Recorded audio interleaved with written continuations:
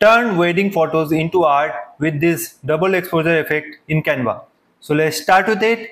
So I have chosen Instagram post 4 to 5 format here and I have uploaded these two photos which I have downloaded from pexels.com and both the image links will be in the description. So let's start with it. So I'm first choosing this image and let's make it to the size of the canvas.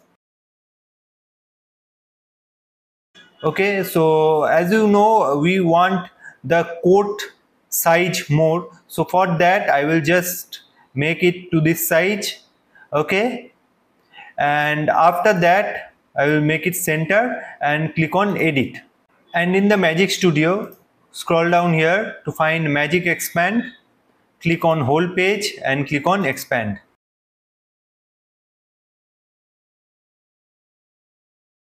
And as you can see canva has generated me four images and uh, i think uh, the fourth one will look good and the waves are also looking better. And after that it's time to bring the second image and this one. Okay and i will just keep it right here and make it size bigger. And i will make sure the couple image is covering just the coat and not beyond that. Okay so i will decrease the transparency and check it here okay so it is working fine.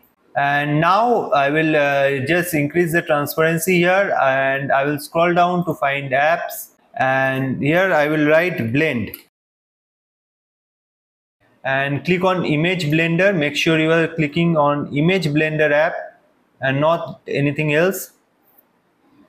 And now I will click on linear okay and I will use this icon here and put in the above part and keep it right here. Okay like this. And as you can see uh, the couple is uh, coming fine but the sideways part is still there. So I will first click on save here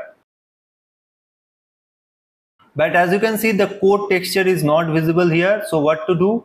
Again I will hit on linear. So I will click once on radial and another time linear. And this time I will cover the side parts. Okay? So I will cover till here. So that the upper layer of coat is visible like this. Okay? And click on save. And follow the same for this part also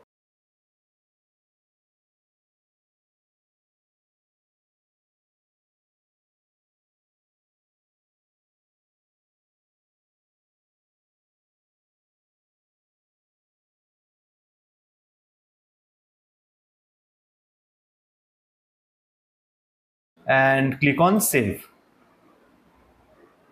So as you can see our image is generated and uh, the image of the double exposure effect is not going beyond the coat and it is staying inside it. Hope you like this tutorial and this double exposure effect with wedding photography and make sure you hit the subscribe button to learn more tutorials like this. Thank you